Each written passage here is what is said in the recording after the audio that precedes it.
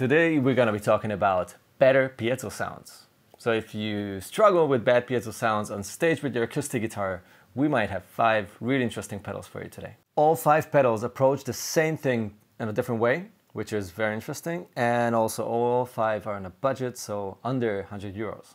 Let's start with TC Electronic Bodyrez.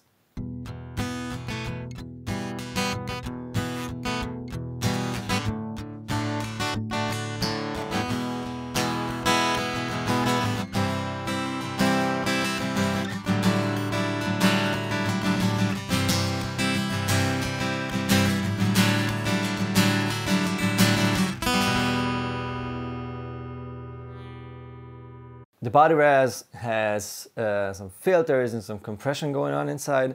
Um, so it's not IRs and it's not just an EQ. It's a bit more complex than it.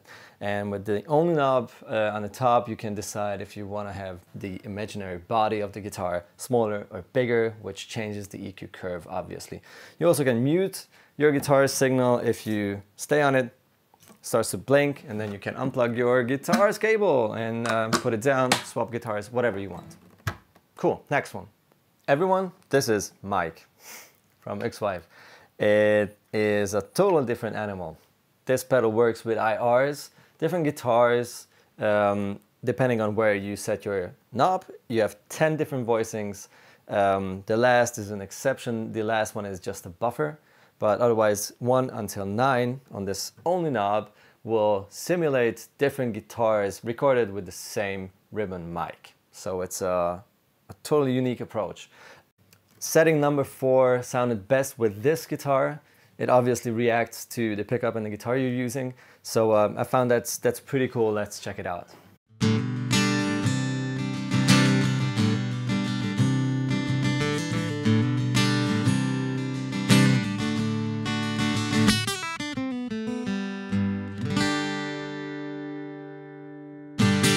Next is the Artec Acoustic EQ. It's pretty old school compared to the first two. It's not digital, it's not you know spooky, it's just an EQ and an active uh, preamp in it. So um, you probably know by now what it can do. It has a three band EQ and a volume and it works pretty well to um, get rid of that sparkly piezo treble. So um, I just play it for you.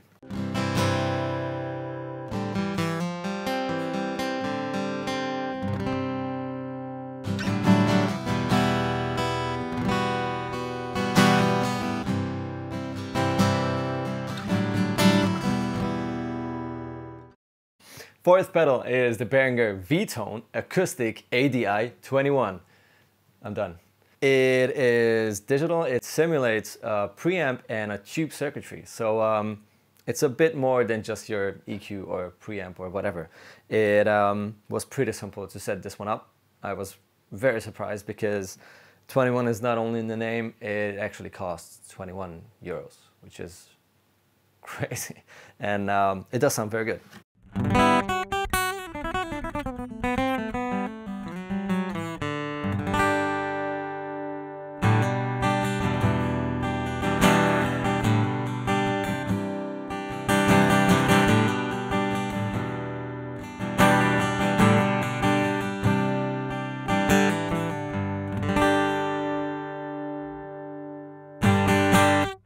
Fifth pedal is the Harley Benton custom line acoustic preamp, which is black. And it also has reverb and chorus built into it and a tuner out. Let's check it out.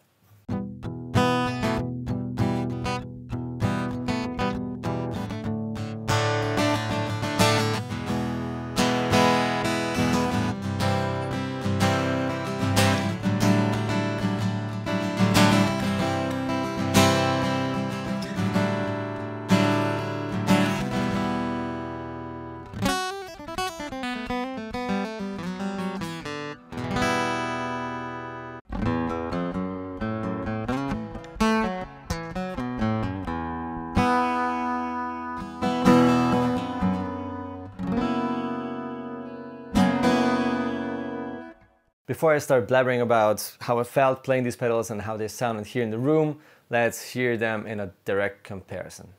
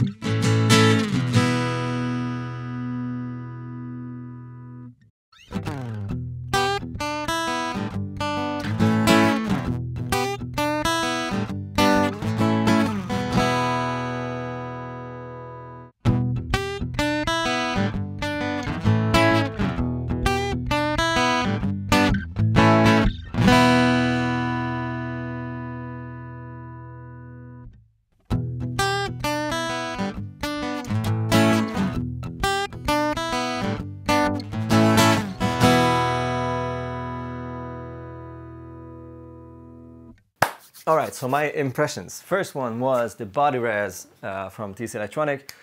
It doesn't change the sound radically, but it makes it prettier, I guess, a little more um, spread out and less piezo-like, if that makes any sense. The body knob is nice. It gives you more bass and treble if you turn it right, like clockwise, and um, sort of focuses the sound when the body gets smaller. So um, it's a, a very nice and easy to use pedal. The XVive mic is um, very creative. I love the fact that they use IRs. Um, with this guitar, I've found like two settings that worked pretty well, like right away.